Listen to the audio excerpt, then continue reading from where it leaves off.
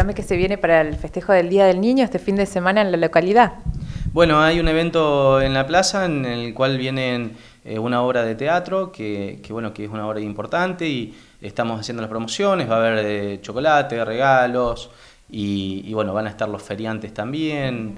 Eh, la verdad que esperamos pasar un, muy lindo domingo. Estos últimos domingos también han sido han sido buenos en cuanto a lo que fue el tiempo y hemos tenido diferentes actividades que fueron desarrollando por ejemplo, bueno, eh, fue el cumpleaños de la, de Grido y se cerró la calle y ellos hicieron un evento para los chicos también.